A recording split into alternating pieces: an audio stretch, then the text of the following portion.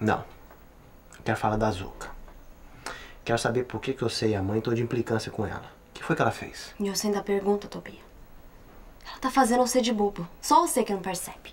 Ela andou confusa, Tina. Mas agora já tá tudo certo. Assim que passar o luto do padrinho da madrinha, a gente se casa. Olha, isso não é hora de conversar sobre esse assunto. E de mais a mais, eu mesma não tenho nada contra ela. Só acho que ela não ama mais você. Que você vai fazer uma besteira sem tamanho se casar com ela. Vocês estão me escondendo alguma coisa, Tina. Você, a mãe e o Tomé. Eu e a mãe, a gente acha que ela não ama você de verdade. Você tá fazendo papel de bobo na mão dela, Tobia. Todo mundo vê que ela faz pouco caso de você. Pouco caso como? A gente começou a ficar com o pé atrás quando ela começou aquela história de que só ia se casar com você se a gente não perdesse nosso sítio. Aquilo me pareceu desculpa de quem não quer mais saber do noivo, mas não tem coragem de falar. É isso mesmo, Tobia. É isso que eu acho. Que motivo ela teria pra não gostar mais de mim? Isso você que deve saber. Mas se você quer mesmo saber, eu acho que ela tá fazendo com você o mesmo que a Rosa fez com o Tomé. Com a diferença de que ela não fugiu daqui com o outro que nem a Rosa fez. Ela ficou e lhe enfrentou. Tentou desmanchar o noivado de vocês e você fez o quê? Ficou por aí ameaçando matar meu mundo.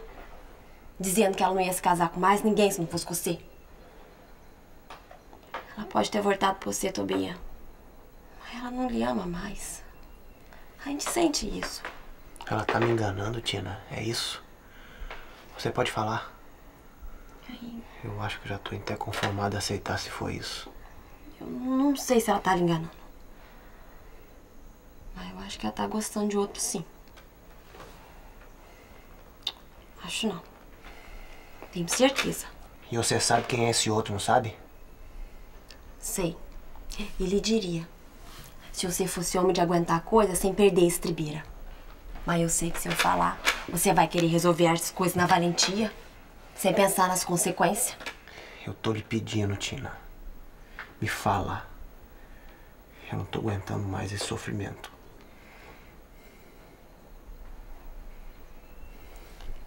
É um amigo seu, Tobia.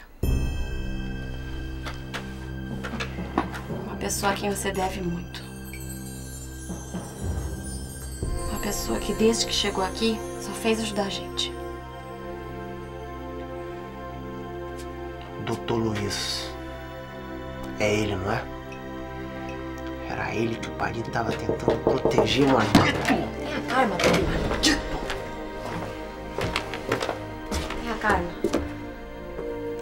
Deixa eu lhe dizer uma coisa. Dona Mariquinha anda atrás de você, não anda?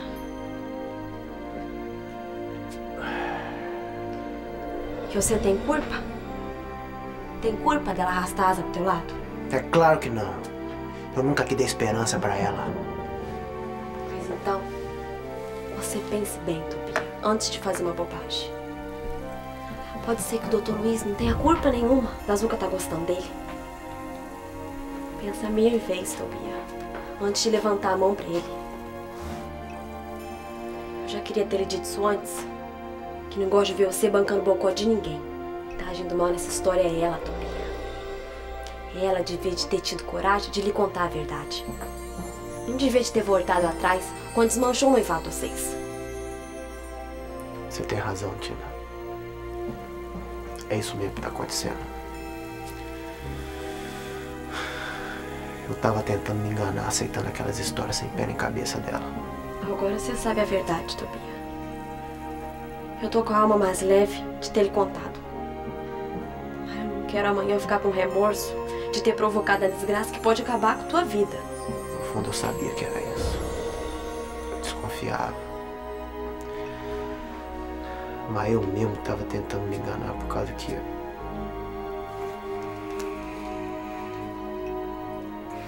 Por causa que eu gosto demais dela. Eu falei pra ele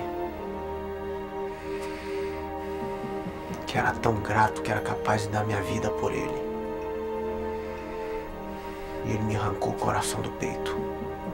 Você sempre disse, Tobia, que o amor é que nem flor do campo. Que quando brota dentro da gente, não há o que jeito de arrancar. Você vai ter que se conformar, Tobia. Vai ter que se conformar se não quiser desgraçar a tua vida e a dela. Agora vai dormir, vai. E pensa no que eu lhe disse. Você vai ter que ser homem para aguentar essa ingratidão de cabeça erguida.